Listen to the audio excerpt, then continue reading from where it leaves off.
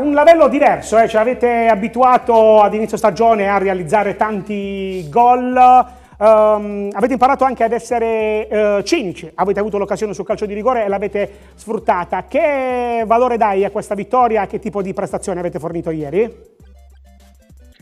Eh, è una, stata una, una, vittoria importantissima perché noi venivamo da due eh, partite non fatte all'altezza, quindi eh, questi tre punti con l'Andria valgono doppio perché era una nostra diretta concorrente, è una buonissima squadra. purtroppo anche ieri, come ha detto Aldo, la partita è stata condizionata dal forte evento per noi e per l'Andria. Quindi alcune volte bisogna essere anche brutti e portare a casa i punti piuttosto che fare bel gioco e non portare a casa niente. Uh, Lorenzo, ci togliamo subito il dente, allora ti chiedo un parere. Uno sull'espulsione di Venturini per fallo da ultimo uomo, due l'episodio del rigore che ha portato poi al gol uh, decisivo di, di, Liurni. Allora, se io devo essere sincero, l'espulsione per me non, non c'era perché poi ho rivisto le immagini e non era chiara occasione da gol, però rivedendo il rigore eh, ci, ci poteva stare, dai chiaro ed onesto come al solito. Herrera più El Wasni più Burzio più Liurni più Marotta, come si, come si gestiscono? No, questo è il compito del mister, però io penso che per fare qualcosa di importante eh, la concorrenza deve esserci. Eh, io ne so qualcosa per, negli ultimi due anni a Cerignola eh, abbiamo bisogno di tutti, anche perché è un campionato strano, per me il campionato più, più difficile degli ultimi anni, perché un po' per il Covid, un po' perché ci sono tanti turni infrasettimanali, un po' tanti, tanti recuperi, quindi abbiamo bisogno di tutti. Più la rosa è ampia e più ne beneficiano tutti. Ti lascio il tuo amico Aldo Losito. Eh?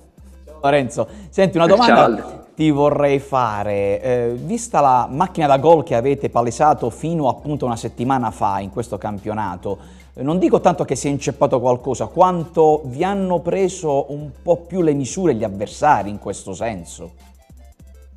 No, hai fatto, hai fatto un'analisi giustissima Aldo perché eh, più, più, più, ci vedono e ci studiano gli avversari, più prendono le misure. Poi sta a noi e allo staff eh, cercare contromisure o alternative diverse, però è normale che all'inizio magari non ci conoscevano tanto, però uh, ora ci stanno incominciando a studiare, sanno i nostri punti deboli, ora sta a noi alternare, cambiare, però non dobbiamo perdere eh, la nostra filosofia di gioco che ci ha portato a fare così bene.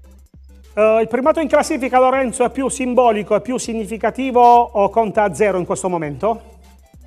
No, no, non, io sinceramente, almeno personalmente, non la vedo ora la classifica perché ci sono tanti recuperi. Eh, siamo appena alla, alla fine del girone d'andata. La classifica penso che si inizierà a vedere verso marzo-aprile, eh, quando, quando, anche tutti i recuperi saranno fatti. Poi ci sono parecchie squadre quest'anno, non è che ce ne sono due o tre come gli scorsi anni. Ci sono il Casarano, il Picerno, lo stesso Altamura che è una grande identità di gioco eh, penso che sia veramente un campionato difficile. Puoi perdere punti con chiunque, non, non, è come negli scorsi anni che c'è una squadra Materas.